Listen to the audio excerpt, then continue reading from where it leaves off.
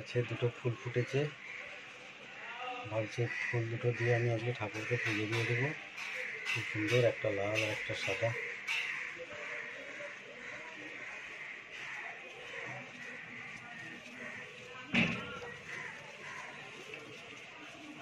Good morning আজ রবিবার।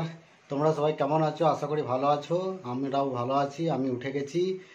আর উঠে আজকেও ডিউটিতে যাইনি। শরীরটা খুবই খারাপ। কালকে রাত্রে আবার পেটে ব্যথা হচ্ছিল। তো চলো, সেই জন্যই আজকে যাইনি। আজকে আমি ব্লগটা স্টার্ট করলাম। ওদিকে দেখতে থাকো আজকে রুম্পার স্পেশাল ব্লগ। তো চলো, যারা আমার ব্লগে নতুন, তারা লাইক, কমেন্ট, শেয়ার করে দিও। আর চ্যানেলটাকে সাবস্ক্রাইব করে দিও। তো চলো তাহলে আজকের দিনটা স্টার্ট হোক।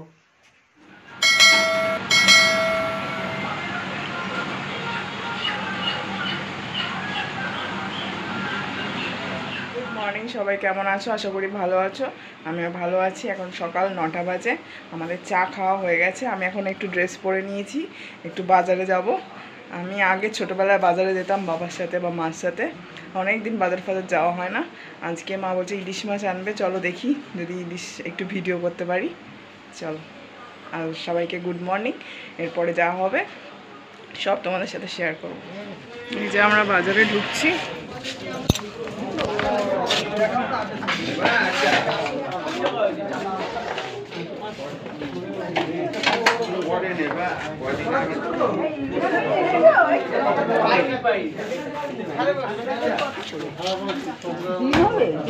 মেলা নেবে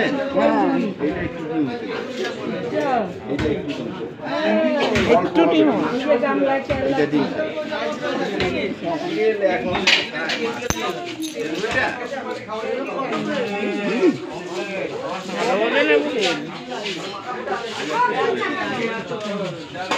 ইলিশ মাছটা নিয়েছি এবার কাটছি ইলিশ মাছটা।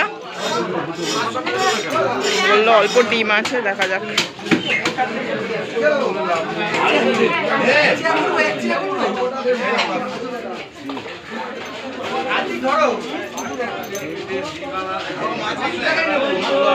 এই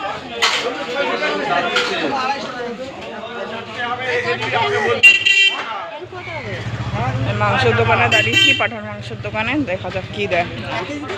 না? এই এক কেজি নিবি? না না পাঁচশো। দাও। এইটা থেকে দাও না? এই জায়গার থেকে দাও এখান থেকে। আমি জানি না এটার থেকে ভালো হবে এটার থেকে দাও। কোনটা ভালো হবে? আগের দিন তো উল্টো পাল্টা দিয়ে দিয়েছিলাম মাংস। খেতে পারিনি আমরা। তাহলে আমি এইটা থেকে দিচ্ছি না। একশো বেশি হোক এইটা থেকে নাও। এইটাই তো ভালো লাগছে দেখতে। চর্বি ছাড়া আর এটা চর্বিওয়ালা মাংস ভালো কোথায় চর্বি দেখছি এটা? এটা তো ভালো দেখছি আমি। তুমি বলছো এটা চর্বি ছাড়াও এ বলছে চর্বি আলা বুঝেছ ওই জন্য এইটা দেবো। ভালো হবে। একটুও চর্বি দেবে না। হালকা চর্বি থাকলে তবে তো মাংসটা ভালো লাগে। চর্বি ছাড়া মাংস ভালো হয়। আমার এই যে হালকা চর্বি আছে গায়ে মাংসটা খেতে ভালো লাগবে এর আগে সপ্তাহে আমার দেওরকে পাঠিয়েছিল। মালটা অন্ধকারে পড়ে গেছে বলে কেউ দেখতে পাচ্ছে না। বুঝলি তাতে? হ্যাঁ? অন্ধকারে পড়ে গেছে বলে কেউ দেখতে পাচ্ছে না। ষাট টাকা?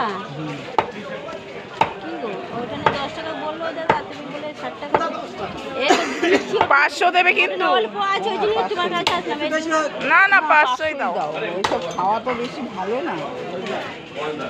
একশো গ্রাম বেশি হবে। তাও দাও। একশো গ্রাম বেশি মেটলি দাও তাহলে নেব না ওখানে একটু নিয়ে চলে যাব। একশো গ্রাম বেশি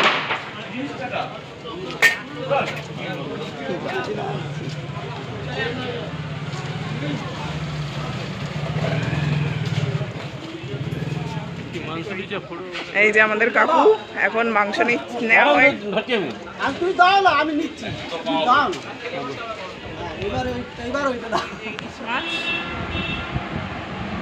এই হচ্ছে সাতশো টাকা, সাতশো পঁচিশ টাকার মাছ, কিন্তু ডিম নেই।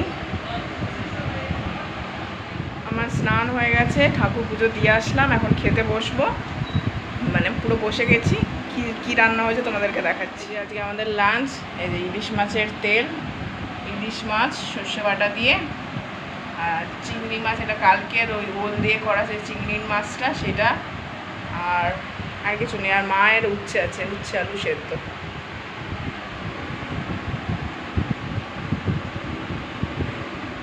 এই যে ফল খাওয়া হচ্ছে, আপেল আর শশা আর একটা হচ্ছে পেয়ারা ছিল, ওটা খাওয়া হয়ে গেছে। আর শশা আর আপেল। আজ অনেক দিন বাদে ছাদে এসেছি। বেশ ভালো লাগছে ছাদে। হাওয়াও আছে ছাদে, মাও হাঁটছে। আর বেশ কটা পেয়ারা ছোট ছোট হয়েছে। পেয়ারাগুলো সব পাড়া হয়ে গেছে। আর কটা অল্প গাছে আছে। আর ওদিকে আকন্দ ফুলের গাছ আছে। আকন্দ ফুলটা তোমাদের দেখা যে আকন্দ ফুলের গাছটা। বেশ বড় সড়ো হয়ে গেছে ছাদের উপরে। এই যে সামনে একটা দোকান আছে তার উপরে এটা উঠেছে বেশ কটা গাছও আছে। তোমার গাছে কটা ফল ফলও হয়েছে। এই যে দেখো ফল এই যে হচ্ছে আকন্দ ফল।